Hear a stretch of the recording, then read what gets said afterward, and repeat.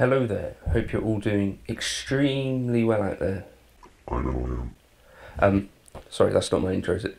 I'm John. I'm a guitarist, obviously. Um, there's lots of stuff on the channel you hopefully might find interesting or useful. Um, if you want to like and subscribe, that'll be Cool. So, in this video, I wanted to tell you how to start using your HX Stomp as a recording interface, essentially. Um, I guess a lot of us are stuck inside at the moment, and I think some of us have always wanted to record something but haven't until this stage. And I've been asked on a couple of occasions how I personally go about recording um, and how I use Helix or HX Stomp. Personally, I don't always use them as the interface. I have an external audio interface, um, but uh, I thought this would be an interesting and useful video, hopefully for a few people anyway. So, things that you'll need for this video. Things that you'll need in order to uh, record with your HX Stomp. You will need an HX Stomp or uh, I think most of these steps will be exactly the same for any other uh, modeler which is also an interface. So a Headrush gig board, same kind of process. The Helix itself is the same kind of process, um, etc. The Kemper doesn't have an interface built in, so that's not going to work. Um, yeah, so you need your HX Stomp. You'll need one of these leads, which is kind of like that old kind of printer style and a normal USB so this goes between your laptop or computer and your Stomp or other audio interface. Um, you'll need some headphones or you'll need uh, speakers like monitors or you know I use JBL LSR 305s in case you were wondering because basically this becomes your sound card so your laptop speakers or PC speakers um, should, in theory, no longer work once you're using this or whilst you're using this. Not this is an ad or anything, but I personally use loaded for bare audio cables. Um, so these go between any of my uh, devices and my interface over there. Uh, they're made by a guy called John, uh, which is a good thing, and he's a really nice family man. Um, so I have stereo TRS jacks to XLR. And this is my loom that sits between whatever sits between whatever modeler I'm using and the audio interface. Just FYI. Uh, you also need a guitar lead and you'll need your laptop. So basically step one is about getting connected. Now the obvious thing to do would be to first plug things into the laptop but I don't think generally that's the best way to do things. So what I would recommend is you go onto Line 6 website and you read there how to use the HX Stomp uh, as an interface and you stop watching this video and then I don't need to continue. Uh, wait, no, that's, that's not the advice. Have this all plugged in, ready to go, as in powered up, um, but don't plug in this interface uh, cable. Don't plug in this cable yet. So what you're going to want to do is go onto the Line 6 website and go onto software, downloads, I think that's downloads, software. You'll have to set up uh, an account on the Line 6 website, which is free, but you, you set up this account basically to be able to download their software. So if you go to line6.com forward slash software, and then you've got this free software downloads thing, and go into Line 6 HX Stomp in the hardware section. Software, you're going to want to find drivers. Um, so these are the things that tell your computer what this actually is once you eventually plug it in. And whilst you're there, you might as well download HX Edit and Line 6 Updater just because those will keep your device up to date. And I did have one problem once where it wouldn't recognise the HX Stomp because the drivers in the HX Edit and whatever, it wasn't all matched up, so that wasn't working for a time. Um, so install the drivers and follow all that. Then the next thing you're going to need is a digital audio workstation. Um, so I'm just going to quickly explain what these things are. So the audio interface essentially is what sits between your guitar, the device that is making sound, and uh, your computer, and is what turns those audio signals into digital. It's called digital audio conversion, or vice versa. In the case of the HX Stomp, it has an audio interface built in, which is what this is a little USB thing we can gain access to it with, which is why you're watching this video, so I don't need to tell you that. Then a digital audio workstation is what we use to actually record sound. So as we speak, I'm using Reaper. I believe Line 6, some of their stuff comes um, bundled with Cubase. I think Tracktion have just put out a new digital, uh, dig digital audio workstation. Um, there's free ones, there's really simple ones like Audacity, which I wouldn't necessarily recommend because I think it's a little bit too simplistic for some of the... I personally don't use it. Um, I've used Cubase in the past. Uh, I now use Reaper. Um, does everything I, I need. Uh, Mac people, I know Logic is popular. Um, the thing that I don't hear so much of anymore is kind of like supremacy of digital audio workstation. Like I don't hear people really saying like Pro Tools is the only thing you should use anymore. Like it used to be the case that people would say that, but I'm not sure that's how things are anymore. Um, which I think is a good thing.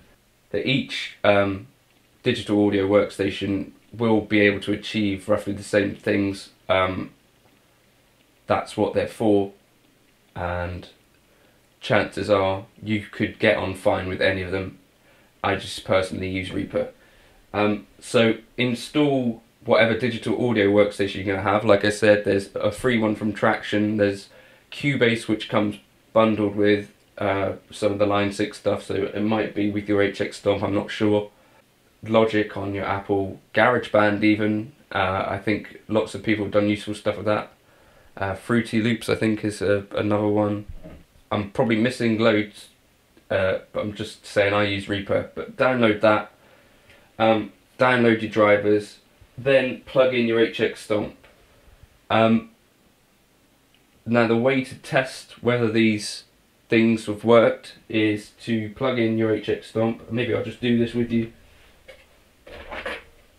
And it should basically ping up and recognize it. Now I don't know if this is going to be the same if you're a, a Mac person. I come from the evil PC side, so So I've just had to do a quick run around the house. These things are like gold dust and you should protect these with your life. Um, but yeah, to plug into your HX Stomp you'll need uh, whatever they're called. This goes into your headphones and if you've installed stuff properly, uh, so you install your drivers, install your digital audio workstation, you don't need that open for now, but then turn on your HX Stomp and basically now if you were to go onto like YouTube or anything you should be getting sound through your headphones. So perhaps you go onto YouTube and you watch some guitarist video maybe someone like John Cordy. Cool so that's that's worked for me if that hasn't worked for you that's where you need to get to first um, so I think if you're in Windows there's like this little audio preferences uh, section, you know, where you've got that little speaker icon in the bottom. You could right click that and then go open sound settings, I think. And basically you want to be changing it from the default Windows device to being your output device as being the, the Line 6 HX Stomp. Similarly, you want your input device to be the Line 6 HX Stomp. So hopefully you followed this far. The next step is to open up your digital audio workstation. So, as I say, I use Reaper. I'm going to take these off because I look like a, a dodgy DJ. So, I've clicked Reaper now, and I'm opening that. This is a, a mug from a guy called Tim, who runs a company called Studio Wear, and he sent me a mug. If you're using Reaper, if you go into uh, options, at the bottom of the options is a thing called preferences. So in other um, digital audio workstations, this is going to be a different set of steps potentially or a different um, label, um, but you're essentially looking for audio preferences and you're looking for where you set up your audio device settings and the audio system that I want you to change it to will be ASIO, A-S-I-O. Certainly if you're on PC, I'm not sure if you're on a Mac. And then you want to change your ASIO driver, A-S-I-O, to be the Line 6 ASIO HX Stomp driver that you installed at the first stage when we went onto the Line 6 website. Does that make sense? And then there's a process of enabling and just checking those inputs. Um, so make sure that's all good. Believe that's what you'll have to do. Now back in the day this used to be a lot more complicated.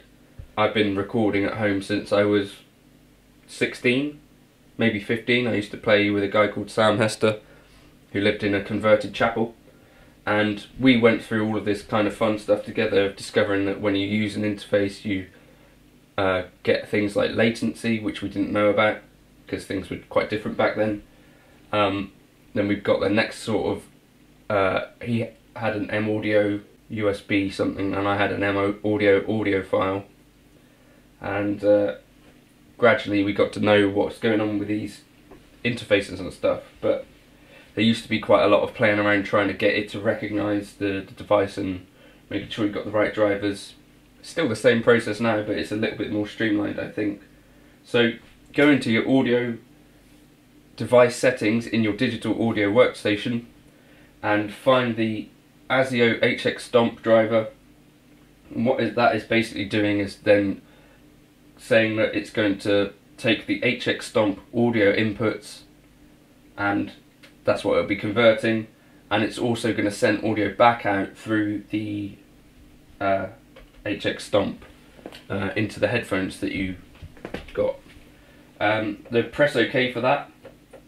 Then same kind of thing for each audio, uh, digital audio workstation. You go track generally or insert, insert a new track and you should get uh, a line come up which is essentially your recording space and if you click record or arm you can then also change the input so for me I use inputs 1 and 2 of the HX Stomp and then essentially you're ready to record so I would change the input actually to stereo 1 and 2 and that's how you record or set up for recording basically volume knob on the HX Stomp is no longer an issue. I think that just now controls the volume of your headphones or the speakers that you've got plugged into the HX Stomp. Um, so everything comes out of the HX Stomp at unity gain, I think. Uh, could be wrong. Well, so this is your stage to basically start exploring the digital audio workstation. I can't hold your hand through all of that. Um, what I personally do is set up a click track and start recording um, to that.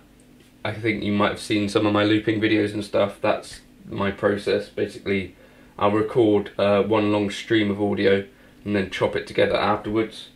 Um, so the click track is called, well, different things, but in Reaper, if you uh, get your transport bar open, there's a, a BPM, tap tempo and that sort of stuff.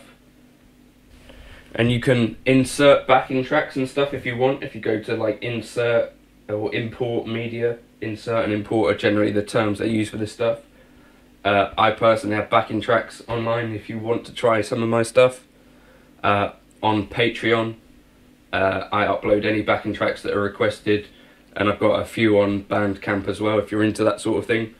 But yeah, if you insert the media file um, and then record with that media file playing, basically it will import the media file into the digital audio workstation. You can move that down to a different track and then record yours and then blend the two um, you're going to maybe want to think about things like drums and keys and vocals and all this other stuff. Um, personally, I use Native Instruments for almost everything. Um, and then you're going to also potentially want to delve into the world of plugins.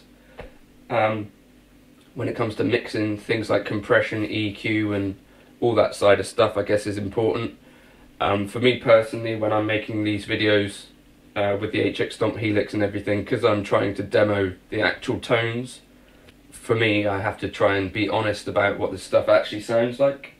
Um, in a studio environment, uh, it'd be absolutely fair game to EQ and compress the guitar parts and all that sort of stuff. But I just used uh, mastering plugin on the kind of master track itself, not on the guitars.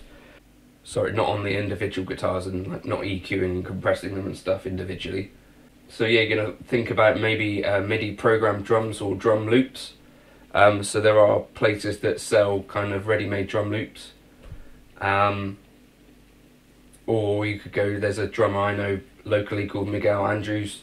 He puts up loops of his playing that people can use and practice to and record with. Um, I think that's quite a good way to, to do stuff. Um, working with the sounds of a live drummer are quite different to trying to program in your own um, MIDI beats uh, if you've never done that before, there's a whole process behind it. So you could look into, yeah, like I say, uh, there's a drummer called MigsDrummer, I think it'll be. Um, but he's got kind of uh, packages of loops and stuff, and even free folders of loops and stuff. And he's a great drummer, obviously. Uh, terrible person, though. Awful, awful guy. So yeah, those are some things to think about. Um, one other neat little trick: if you're playing electric guitar. Um, you might not have a bass.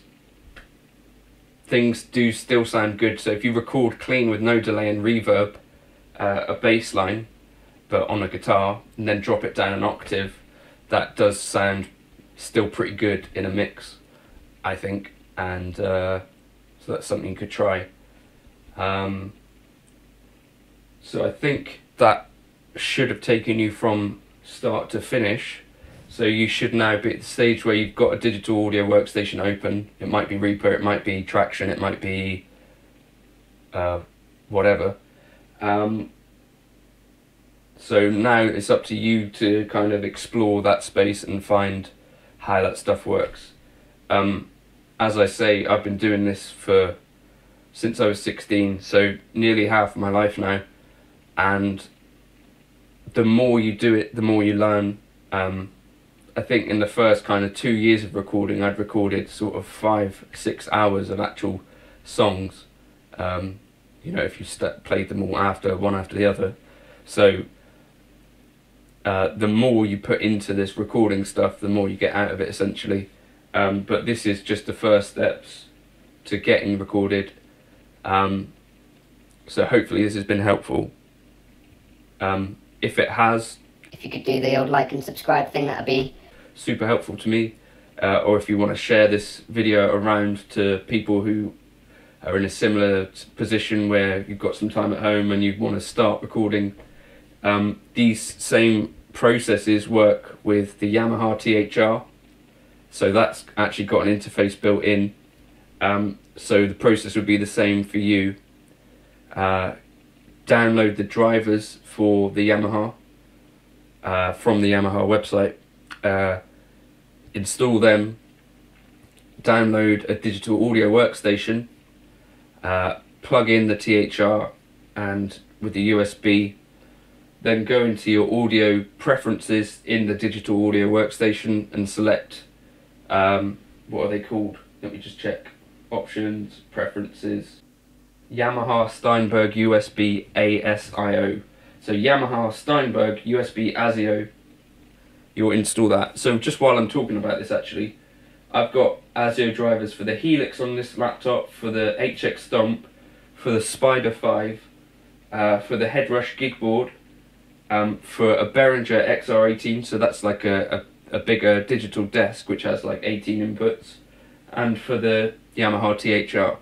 So uh, that's what your driver does. It basically enables your computer to talk to each audio device that you've got. Um, so hopefully this has been helpful, as I say, and uh, I'll catch you on the channel soon. if there are any questions about any of this stuff, use the comments. I do read them, so please be kind. Um, and we can try and get you recording essentially. Um, I'm probably going to do some live streams and stuff on this where I could possibly do some screen shares if that's of interest. Again, comment if that works for you or you want that to happen. Um, but yeah, hopefully this has helped slightly. Thank you.